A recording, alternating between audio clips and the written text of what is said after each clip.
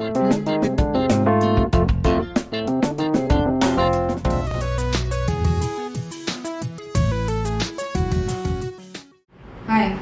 Mrs Sunanda किचनमध्ये तुम्हा सर्वांचं स्वागत आहे. आज आपण अ, कुल्फी बनवणार आहोत.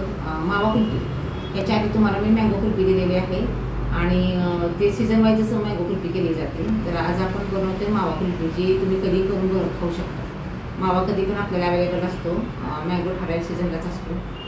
तर बनवूया आपण मावा कुल्फी त्यासाठी साहित्य काय लागते बघूया मावा कुल्फीसाठी साहित्य काय लागते पहा. म्हशीचं दूध घेतलंय मी एक लिटर तापून घेतलेलं आहे.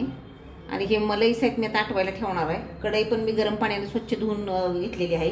गरम पाणी टाकून धुवून घेतली आणि तापायला ठेवली ह्या मोल्डमध्ये आपण कुल्फी बनवतोय. हे पहा असे मोल्ड आहेत. ह्या मोल्डमध्ये आपल्याला कुल्फी बनवायची आहे.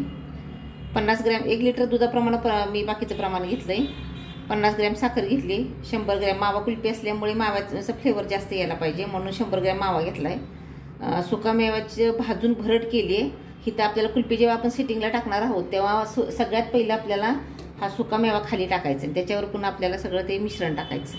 म्हणजे खायच्या वेळेस खूप ते सुंदर लागतं.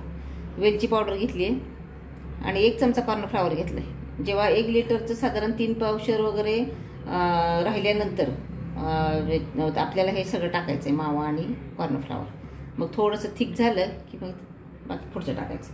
तर आता आपण गॅ कढई ताप तापलेली आहे त्याच्यामध्ये हे तापवलेलं एक लिटर दूध मी आटायला ठेवते. गरम पाण्याने धुवून घ्या कढई नाहीतर दूध फाटेल. हे साईड साईड टाकते मला एक साईड. दोनदा मी तापवलेला आहे. आणि गॅस मिडियम ठेवायचा आहे. कढईमध्ये लवकर आटलं जातं म्हणून कढई घेतली मी. असं हलवत राहायचं आहे तीस चाळीस मिनटं आरामात लागतात हे दूध आटायला. अर्धा तास तर फिक्स आहे. हलवत राहायचं आहे पण. आता उतू जाऊन सगळे साय निघून जाईल. असं हलवत राहते मी. दूध आधी दूध आटवू आपण मग पुढचं कसं पावशात तरी दूध आपलं आता आटलेलं आहे. अजूनही पावशेर आटवायचं आहे आपल्याला. आणि नंतर आपण स इथं राहिलेलं सगळं साहित्य टाकायचं आपल्याला.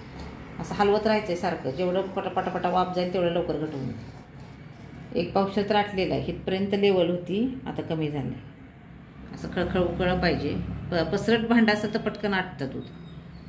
तर अजून थोड्या वेळ आपण आटवूया. आता हे एक लेवल कमी झाली इथं होती इथं झालं थोडं कमी करू आता. दूध आपलं आटलेलं आहे. आता हे गरम दूध आपल्याला कॉर्नफ्लॉवरमध्ये टाकायचं आहे आणि पातळ पेस्ट करायची. तोपर्यंत आपण साखर टाकू. मावा टाकायचा. मावा मी हलकासा भाजून घेतला होता. आणि हे मेल्ट होईपर्यंत कॉर्नफ्लावरची आपण ह्याची पेस्ट के करतोय हलवत राहायचं आहे मेल्ट होईल सगळं. कॉर्नफ्लावरची पेस्ट टाकतोय आपण.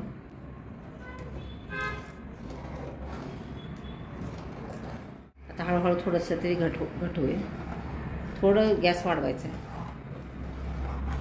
घटवायचं घट झालं पाहिजे. पूर्ण थंड झाल्याशिवाय आपल्याला भरता येत नाही साच्यात. आटू देणार आहे मी आता. दहा दहा मिनटं तरी ते घट्ट जर मिश्रण झालं पाहिजे. जास्त घट्ट बी नाही पातळ बी नाही. मग गॅस बंद करायचा. असा थिकनेस पाहिजे पहा. पूर्ण ह्याचा खावा मेल्ट झालेला आहे. आणि दूध आटून आटून ना साय वगैरे एकदम छान मिक्स झालं. आहे आता वेलची पावडर टाकायची आपल्याला. एवढा थिकनेस पाहिजे. आता मी गॅस बंद करते कारण वेलची टाकल्यावर जास्त वेळ नाही हे करायचं. आणि गॅस बंद केला आहे मी थोडंसं केशर टाकते मी. केशर ऐच्छिक आहे आता मावा कुल्फी आपण बनवतोच आहोत. केशर नेहमी असं चांदीच्या डबीत ठेवायचं. खराब होत नाही. हे पहा मी डबी घेतलेली आहे केशरसाठी. आणि एवढं भागडं केशर ठेवायचं तर त्याला डबी पण तेवढी सुंदर लागते. नसेल तर काचेच्या डबीत ठेवलं तरी चालतं. मिश्रण आपलं तयार आहे. इतपत घट्ट पाहिजे तरच माव्याची कुल्फी सेट होती. मँगो कुल्फी किंवा दुसरे कुठले फ्लेवरचे तुम्ही कुल्फ्या केल्या तर ते ल- कमी घट्ट असताना पण ते सेट होतात. माव्याची कुल्फी इतक्या सहजासहजी सेट होत नाही. दुधाचं जसं प्रमाण असेल तसं कॉर्नफ्लावरचं प्रमाण वाढवं. एक लिटरला साधारण तीन चमच्याच्या जवळ आपल्याला पोहे खायचा चमचा असतो ते तीन चमचे मी कॉर्नफ्लावर टाकले तेव्हा हे घट्ट झालं इतकं तसं इतकं रबडीसारखं घट्ट पाहिजे. आता हे थंड झालं की अजून थोडं घट्ट होईल आणि मग ह्या मोल्डमध्ये सेट करायला ठेवू आपण. मिश्रण आपलं थंड झालं आहे आपण हे सुक्या मेवाची भरड जी केली आहे ती थोडी थोडी टाकून घेऊ आधी खाली. अगदी रबडीपेक्षा घट्ट झालेलं आहे मिश्रण. आणि व्यवस्थित व टाकून हलवायचे त्याला आदळायचे थोडंसं म्हणजे सगळीकडेच व्यवस्थित बसेल ते. नाही तर पोकळं राहायचं मध्येच.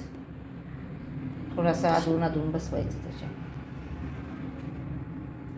त्यांनी एव- इतपत घट्ट केलं तुम्ही तरच ते व्यवस्थित पसरेल. नाही तर मध्ये मध्ये पोकळं राहील कुल्फी घट्ट केलं तरच लवकर सेट होते कुल्फी आणि माव्याची कुल्फी नेहमी नाजूकच असते ते. लगेच पाणी सोडतं. लगेच विरगळ्यासारखी वाटते. म्हणूनच घट्ट करा. जास्त झालं तर काढून घ्यायचं आधीच. कारण झाकण लावायचं हे झाकण लावताना व्यवस्थित त्याच्या बाहेर येता कामा नाही? झाकण लावताना. हलकंसं दाबायचं. चार ते साडेचार तास आपण सेट करायला ठेवली होती. आता आपण जेव्हा फ्रीजरमधनं काढली तेव्हा असं बाहेरून पाण्याने धुवून घेतली. आहे थोडं नॉर्मलला करायचं त्याला. नॉर्मलला येऊ द्यायचं. आणि हे पकडायचं असं. हे मस्त मावा कुल्फी आपली तयार. जे आपण ड्रायफ्रुट्स वगैरे आधी टाकले होते ते पण असे सगळ्याला दिसतात आहे. हे पहा. सगळ्याला चिटकलेत पुढं. आणि तयार आहे आपली मस्त मावा कुल्फी. माझी रेसिपी जर तुम्हाला आवडली असेल तर लाईक कमेंट शेअर देत राहा. माझ्या चॅनलला सबस्क्राईब करा. आणि मस्त मस्त हे मावा कुल्फी करून खा. थँक्यू